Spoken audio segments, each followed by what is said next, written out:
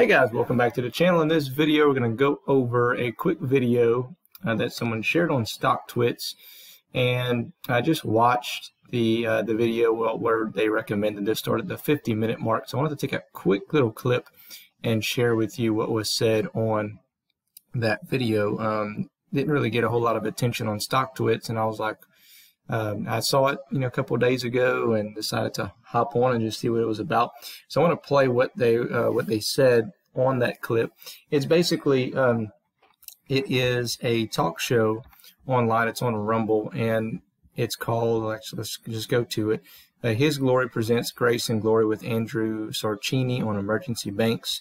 And I guess these you know these two people get on and have maybe like a weekly or um, yeah, I don't know how often they get on or not, but you see it's about almost two and a half hours long. But I just took up about a one, maybe two minute clip total to play for you. And they mentioned Zion and Gas. I wanted to share that with you. We're also going to look and see when uh, the last update was. The last update is actually from June the 8th, whenever they had the annual shareholder meeting. Okay.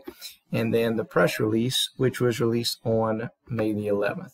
All right, so the next thing that we're waiting on, obviously, is to hear from Zion Oil that they've gotten their uh, license extension for three years for Israel, and they're just waiting on the Ministry of Energy to get back to us on that. So anyway, I wanted to go ahead and provide this quick little clip. Keep in mind, this is all, again, you know, kind of speculative. However, it's kind of cool to hear them mentioned on a little TV show and um, I thought that was kind of neat. So take a look at that. Hope you enjoy it. Other than that, we'll catch you in the next one. Uh, issuing judgment against these certain agendas. I'm going to find them because the Lord, uh, I did speak them from the Lord a while back. So, um, so two things that you we started off with uh, you that the Lord gave you on page one uh, was about Israel um, I did see today, I do believe this has been made public by Newsreel, uh, that Israel is planning a strike potentially on Turkey, uh, which would be major uh, if that indeed happens uh, over, the, over this upcoming weekend.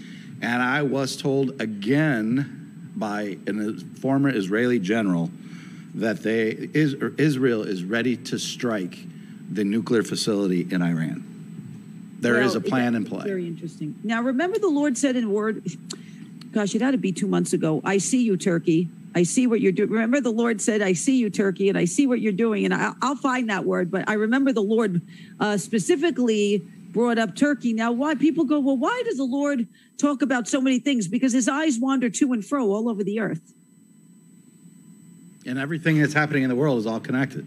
It's all connected. So this is why you see, and he's the God of the whole world. Yep. Which means, and the heavens, and the so he's going to talk about many things. Yep. Um, the other one is the oh, desert wells and resources popping up. I suddenly. Suddenly, I, I, think I mentioned this on a Grace and Glory. Uh, I was on this uh, intel call with two Israeli generals and a bunch of, of former intel. This was like two or three weeks ago, and and one of the generals said there was a major discovery of, new, of oil and, and gas, but he didn't say who. And the only one I know that's drilling in Israel right now, in Israel, is literally in the desert in the valley of Megiddo, and that's Zion Oil and Gas. And it's going to be multiple resources. All of a sudden, they're just going to, people will be like, we didn't ever do this was here.